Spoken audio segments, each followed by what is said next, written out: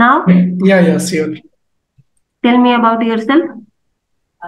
Uh, my name is Ajit Kumar. I am from Bihar and uh, I have completed my BTech from RGP University, Bhopal.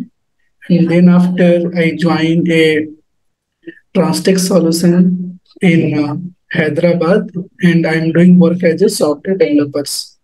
Yeah, that's it. Thank you. Okay. Shall we start from the core Java concept? Yeah, sure. Can we please explain about OOPS concept?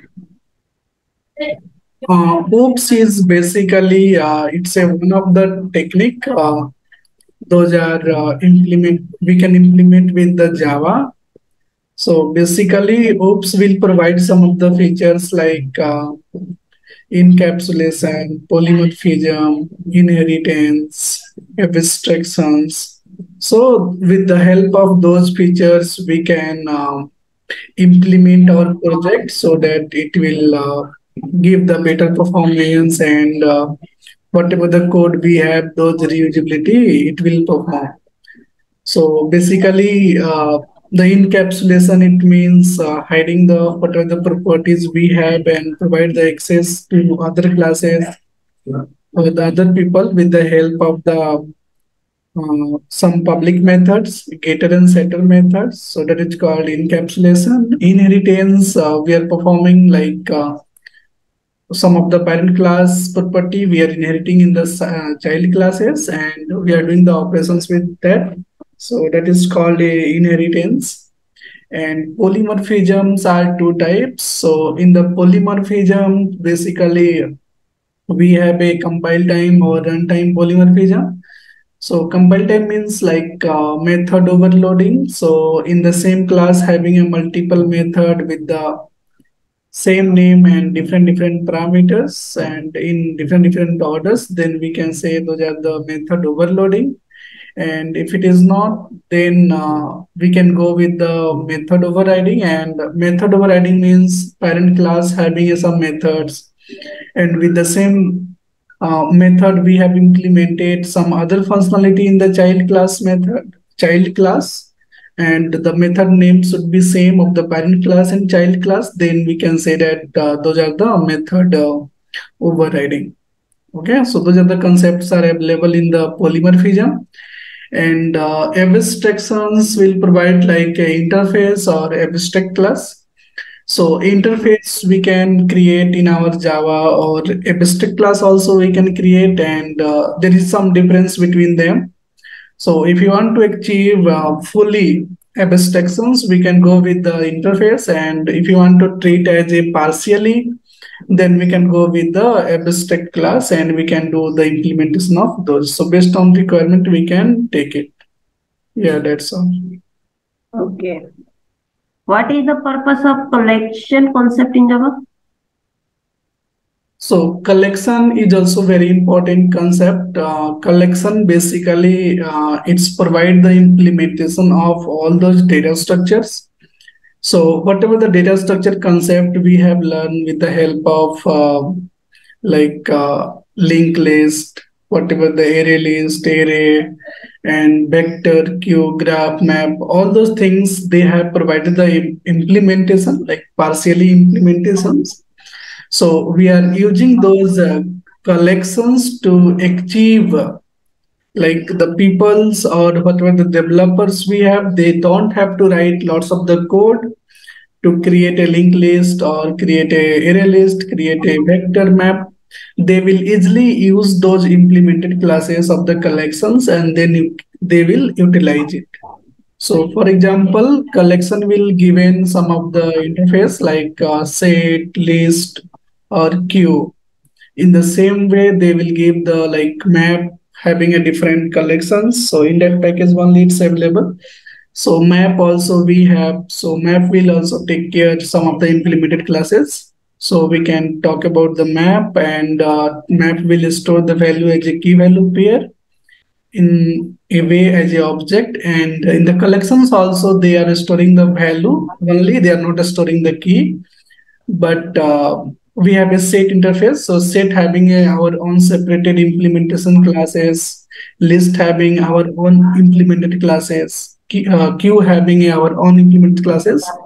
So based on our requirement, we can take off those uh, any of the classes based on our requirement and we can proceed with that. So I think it's a very important library, which is collections in Java.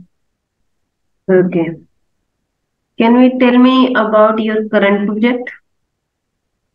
Um, my current project is uh, Agastya and um, we have developed this project uh, with the uh, we are using the Spring, Spring Boot, microservices, those technology. And for the front end, we have used the uh, we have used the React and HTML, CSS, JavaScript. And for database, uh, we have used uh, MongoDB. So those are the technology we have used in this project, Agastya. And Agastya is basically solving a problems like um, if you go to any hospitals and uh, in the hospital uh, doctor will not take care properly our patient or maybe the uh, the whatever the caretakers caretaker is not getting the actual information which is going with the uh, our patient. So we are trying to resolve those problems with the help of the Agastya application. So what basically we have done is in the every hospitals we have put some of the device which is micro device. And uh, device is capable to read the data from the particular patient and they will send to the our api and with that api we have a android application ios application and those application we can install to the doctor or caretaker or nurse okay? Mobile phone and then after uh, whenever they want okay? So they can see what is the associated uh, doctor patient what is the nurse associated patient what is the caretaker also can take care of our patient like uh, what is the situations right now of the particular patient? Or he will take everything as a partially and uh, they also know about each and everything what medicines is going on what treatment is going on. Because some of the time if you see uh, the peoples are available in the icu and uh, they are not giving the proper treatment so peoples are going to happen so many death so we are trying to resolve those problems with the help of the agastya application. Yeah that's all. Okay. What is difference between HashMap and link HashMap uh, HashMap is basically uh, uh, we are storing the value as a key value pairs and uh, it's a like um, implementation of map only but uh, they are capable to store the one null as a key and multiple value as a null. So this is the one things and uh, they will not uh, link the data properly with the link uh, HashMap okay?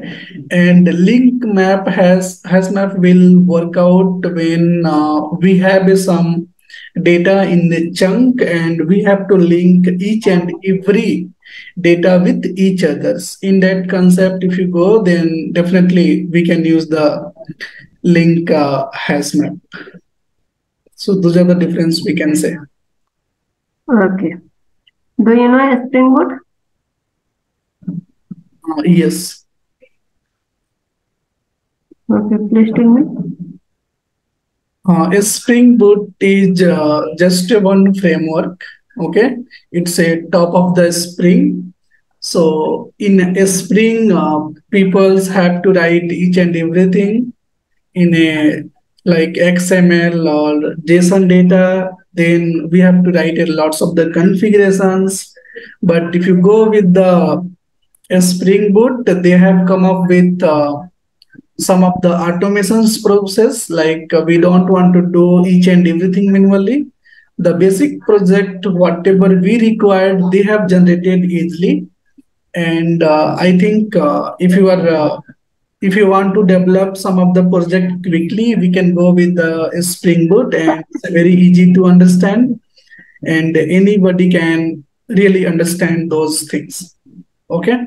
And uh, the features they have come up with like uh, dependency management easily, DB configurations. We don't want to write. Uh, they have given the embedded Tomcat servers. They have some consoles. Okay, so those things are uh, important in the Spring Boot. Okay. How we can create custom exception? Okay, so while creating a custom exceptions uh, uh, in Java, we can uh, create one class and based on our requirement. For example, if you want to develop uh, compile time exception or runtime exception, so based on our exceptions type, if it is runtime exception, then we can implement the type as a runtime exceptions. Okay, if it is uh, compile time exception, like it's depend on the exception basically. If you want a general exception, then we can extend the exception or throwable, whatever. And uh, what we can do is we can provide the implementations of those class and we can write one constructors which is taking one string parameters as a message and we can send out to the super classes. And uh, in that, we have to print the data also. So we can create one method to get the message of those particular classes. So with that, we can create one custom exception in Java. Okay. Which database do you know? Uh, database, I know MySQL, Oracle, and MongoDB, PostgreSQL. Yeah, those database I have on this. What is join? Join is basically uh, we are using when we have to fetch the data from the multiple tables so whenever we have a multiple tables and those tables are associated with each others, then we can take the help of the join. So we have a lots of the joins like uh, inner join, outer join, left join, right join. So with the help of that join, we can fetch the data from the multiple tables. Yeah. Okay, friends, I have done from my side. Do you have any question? No, I don't have.